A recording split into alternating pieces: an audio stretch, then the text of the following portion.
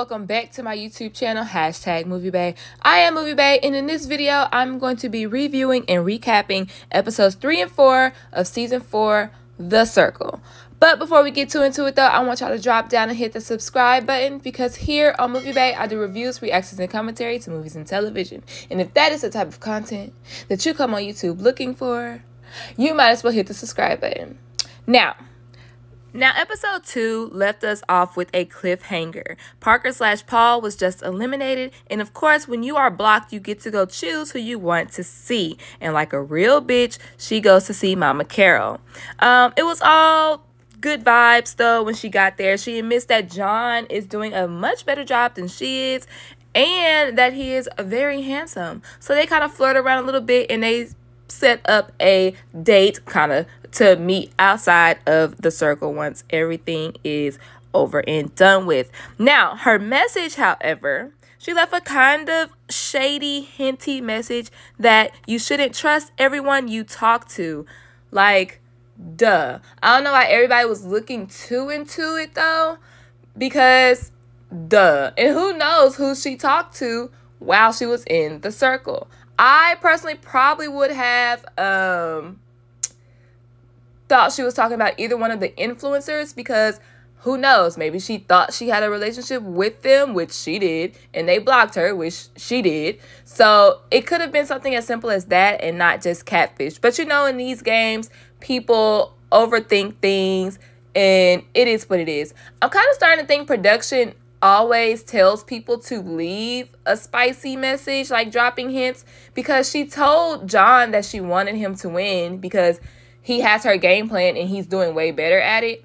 But then she drops like something messy like that. So I'm I'm starting to think production tells them, hey, drop a few hints to shake the game up. Now Parker's video message leaves everybody talking not only about her amazing boobs, but also about the fact that Mama Carol might be catfish, but Alyssa is the only person who decides to throw shade and question Mama Carol's cake baking skills to follow up that catfish theory.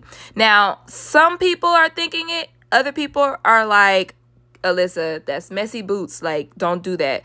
And now Alyssa is starting to think maybe she shot herself in the foot by going at Mama Carol. Now, the circle chats for this episode. Immediately afterwards, Alyssa messages Jared, aka the Spice Girls. Alyssa comes in flirting and asks Jared about his job.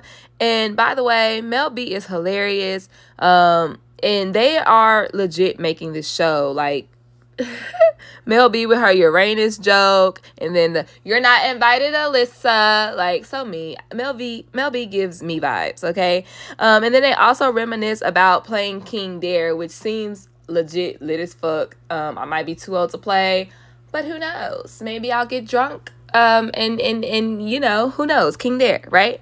Um, Mama Carol also messages Yu Ling, and she wanted to mention how she saved Yu Ling um, last night in the influencer circle and wanted her to show her personality more to the group. Um, then we meet a new player. That is when we meet 29 year old Rachel from Houston, Texas, H Town Stand Up. She is a paranormal investigator and she is going in as herself. So when I first saw her on the TV, I was like, she's going to be a catfish because usually the quirky people go in pretending to be somebody else. But I love the fact that she is going in as herself because confidence, baby, period. Um, she comes into the circle and she has her uh, her witch oil and she's blessing the room. Good Lord Jesus. Uh, that's the first time we've ever seen that. Um, and I feel like um, while she was picking her profile photo, we see that she has a nice body under all of those clothes that she came in wearing, right? Um, I personally like her pictures because they do differ from what the fuck she came in wearing. Um, and then she picks this picture with this um I think it's like a thong swimsuit or maybe it's just very high cut and it got that body out so it's just teasing you right with the the upper butt cheek area I love that she chose that as her profile pic because, baby, you better show that body. But then we get another new player, bringing us to nine people in the circle. Okay, so we meet Alex. Now, Alex is 28 year old from Arizona. Um, if y'all watch Secret Life of the College Girls or some shit like that, y'all know why I said it like that. Um, and he is 28, but he is going in as 21 year old Nathan, who is a college frat bro. Why can you just keep your name as Alex? I have no idea, but let's just go with it. Um, Alex slash Nathan claims that he will be the smartest player in the circle. If you're gonna be the smartest player in the circle, how the hell are you playing a frat bro? It just don't make sense to me. You're gonna have to really mask who you are to play a 21 year old. First off, you're a millennial. I'm a millennial. You're trying to play a Gen Zer? That shit's gonna be hard. I'm just saying. All right. Um, but the new people look like that they will make a good couple in real life. Let's talk about it. Let's ship uh Rachel and Alex, shall we? Ralex. Boom. Then we get in alert. The new people are introduced to the group, and everybody is scoping out the profiles. People like Nathan um, think that he's young but fun, but Yuling is suspicious of him. And everybody is filling Rachel's profile and want to be her friend. Now, the new people get to choose two people each to invite to a chat. Rachel invited Yuling and Jared. Um, they have a good chat with good vibes, but Rachel doesn't truly trust Jared, especially because he took so long to reply.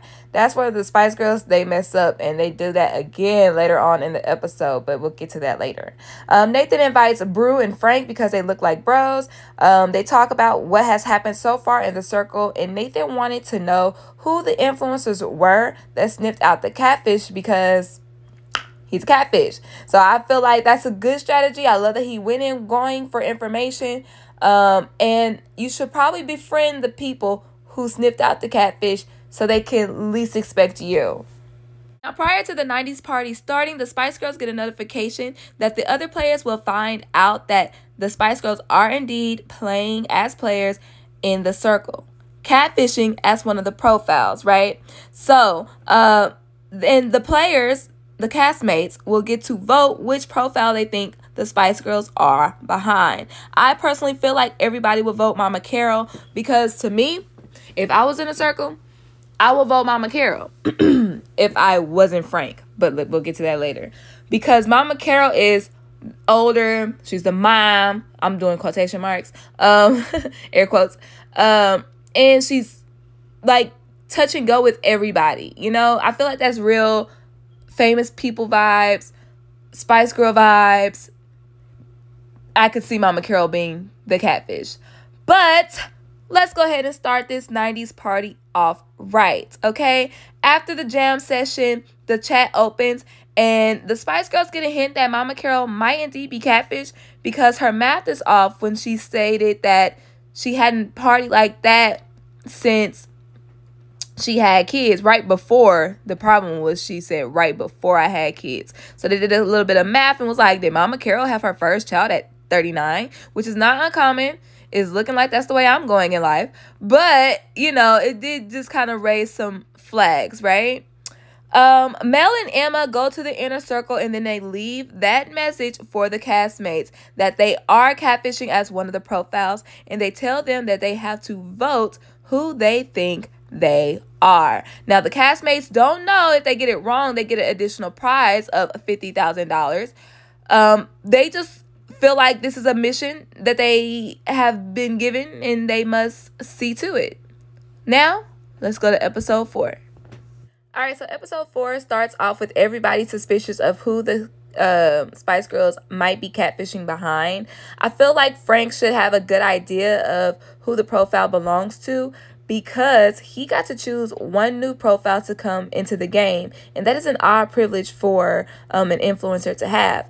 Frank is smart and Frank knows this, okay? So the group is suspicious of Rachel because she is a huge Spice Girls fan, but then at the same time, it's like that's just too perfect because they would be horrible catfishers if they mentioned the Spice Girls right off bat. And it is also important to note that Alyssa has short and spicy in her bio. But as of now, I am just legit enjoying all the free Spice Girls music because what a legit way to spend the budget. I love I love the Spice Girls, y'all. Like y'all have no idea. I'm over here dancing. I'm over here like what? What? Okay, sp- spice up your life, okay? Shit, spice up the show, okay? Now, the private chats for this episode is Carissa to Frank. Now, Carissa asked Frank who he thinks the Spice Girls are, and he mentions Mama Carol and Jared because, like I said, like he brought Jared into the game. And Carissa is my girl. Once again, she mentions how hard Mama Carol goes with the Mama Bear shit. Like, girl, you ain't nobody mama up in here. So she thinks that it's Mama Carol. Now Nathan decides to message Jared, and Nathan throws Rachel under the bus, thinking that saying that he thinks she is the Spice Girls, and um the girls. The Spice Girls actually mentioned Alyssa's profile to Nathan, saying that she loves scary movies and that she has small and spicy written in her bio. I feel like this was a smart game plan. The Spice Girls really came to play, okay? Speaking of playing, the game for this episode is a Spice Girls quiz. I was really excited. I had to watch this part twice because I wanted to answer the questions myself instead of taking notes. Now, each cast member gets a specific question about the Spice Girls. You have to be strategic because if you know too much, they're going to think you're the Spice Girls. And if you don't know enough, you could be the Spice Girls pretending like you don't know the Spice Girls. Um, and it is literally probably the most strategic game the circle has ever had. So we find out that Nelson Mandela's um, life was changed when he met the Spice Girls. Um, Geri grabbed Prince uh, Charles's bum, and I guessed that right away because it's so Geri. But Frank didn't know that. Now, Frank, how old was Frank again?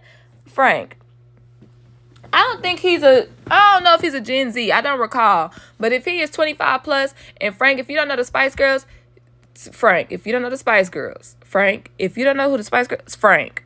Okay? Like Frank. Okay? I'm sorry, I'm just in disbelief right now. Uh back to the quiz. Um the highest selling Spice Girl record is of course Wannabe, obviously. And um Nathan guesses that correctly, but I personally if I was in a circle, I wouldn't follow him because if all else fails, what song were we dancing to last night? Wannabe, all right? Uh, I also find out that the Spice Girls performed on black taxi cabs, and I definitely was like Yu Ling, and said the tour bus because I too was thinking of the movie. So, oops, sorry. Um, Jared is asked about the Spice Girls movie in 1997, and there C and D are obviously wrong answers. Like what? Um, so I feel like even a person who wouldn't know would guess A or B. Now B is the correct answer. It is Spice World, the Spice Girls movie, or uh, Spice World, the, the movie. Um, but A is Spice Girls, the movie. So I personally feel like the Spice Girls did right by guessing A, because even if you have a relative who is obsessed, quote unquote, a relative who is obsessed with the Spice Girls, that's an easy mix up, right? But I'm good at multiple choice, so I kind of would have chose B anyways. But let's that's neither here nor there. Now, Rachel, who's the Uber fan who mentioned that she was uh, six years old when she went to the Spice Girls concert and was interviewed outside of the Spice Girls concert, she gets the question about um, which video had the stop motion animation in it. I got this question wrong as fuck. Um, I definitely thought it was too much because I just I feel I like in my head I feel like too much was kind of like a ethereal. Is that the word I'm looking for? Like a fairy like video so I guess that, but we both were wrong. And now everybody's suspicious of of Rachel because it's like, girl, you say you were a fan, but then you get this question wrong. Like, are you the Spice Girls trying to throw us off of your trail or what? Private chats um for this episode are Yuling to Nathan. Now, um, Ned, not Nathan. Yuling is convinced that Nathan is young and doesn't think he is the Spice Girls. I think that's all that happened, anyways, because I wasn't paying attention because boring. Okay, so Rachel messages Jared and apologizes for getting the question wrong. Just in case Jared is the Spice Girls, because she is suspicious is suspicious that Jared is indeed the Spice Girls. But Jared spins the tables and let Rachel knows that Nathan is throwing her under the bus. But Nathan thinks that Alyssa is the Spice Girls because of her bio. When Rachel gets um, on his side, Alyssa messages Jared. I was like, ooh, tea time. Here we go. So Alyssa messages Jared, and Alyssa comes in flirting even though she's suspicious of Jared. So you just want to flirt with the Spice Girls or what? So she asked if Jared has any clues, and they are, um, they, meaning the Spice Girls, are honest about Alyssa's profile. They're like, well, you know what, girl, I thought it was you because, um, you like scary movies and you, you're short and spicy, huh? So obviously Alyssa didn't even realize that she was hinting to the fact that she could be the Spice Girls, um, um, unintentionally, obviously. So I think that was funny. Um, Alyssa mentions how she expects Mama Carol is the Spice Girls for all the other reasons that everybody else thinks it is, right? Now, Brew messages Mama Carol, and Carol thinks that Nathan or Jared or Rachel, aka all the new people, could be the Spice Girls um, because Nathan acts like he is just too far removed from the 90s. And you are correct that it's because Nathan is being played by a 28 year old. He is indeed a catfish but he is not the Spice Girls. Now we get an alert. The players are about to vote for which profile they think the Spice Girls are behind. Um, if the majority of them guess wrong, $50,000 will be added to the $100,000 for the winner at the end of the show. I personally feel like this twist should have came later in the game, um, but maybe they didn't have much to work with this season, okay? So the players are going one by one, placing their vote in front of everybody. Talk about drama so people can see whether you think they are a catfish or not. Brew votes for Rachel. Um, Alyssa votes for Jared. And when I tell you my jaw dropped, I was just like the Spice Girls, like jaw dropped. Alyssa is playing this game because y'all know she was flirting hard as that deal with Jared. I thought that she was like convinced that, okay, well, maybe it is Rachel. But no, she was like, mm nope, I still vote for you, Jared. I choose you, Pikachu. Um, Carol votes for Nathan because, like we said, we think that Nathan's too far removed from the 90s. And baby, these voice these votes are all over the places right now. Nathan, in turn, votes for Rachel um, obviously, everybody knows now there is no new person alliance. Um, Krista votes for Mama Carol. And some people think that she's burning bridges. By some people, I mean Brew. Um, and other people like that she said Mama Carol in the hopes of knocking Mama Carol out of her in influencer spot. Um, Frank votes for Jared because he brought Jared in and he knows the privilege he got to choose. I'm happy Frank didn't tell anybody and he's keeping that information to himself and utilizing it. And then Rachel votes for, and the episode goes off when I tell you I was like tuned into my TV and then the goddamn episode went off, I was like, they really got me. They got me. Okay, that was a good, that was a good, that was a good ending. All right. So we get a preview to what is to come later on the circle. Um, more twists more twists. Oh my god. More twists are coming later on in the season. We see Delisa's husband, um, Trevor joins the circle. Y'all already know how I feel about recycling people. Like, y'all already know. But we do get another black guy. And I am happy there are more black people because that's my commonality. Don't judge me. Okay. Okay. I like to see black people on TV because I'm black. Um, I think the Spice Girls are going to leave, sadly, um, because to be honest, they have the most personality out of everybody on the show. I know I didn't like famous people coming in, but god dang it, they keeping me rolling. So I think the Spice Girls are going to leave. I think somebody else is going to get blocked as well. Um, and I think the Spice Girls are going to get to meet their Uber fans, by the way, when they do leave. But we do find out there is a data breach. And if you don't have the hacker software, you get blocked. What is the hacker software? Who knows? Um, new episode comes out every Wednesday. I'm not going to promise when my reviews are going to drop, but I'm going to try to have them out on Friday, Saturday, or Sunday, just to let y'all know. So make sure y'all hit the subscribe button, hit the notification bell to stay tuned for when the new episode drops. And I'll see you next time. It's a date.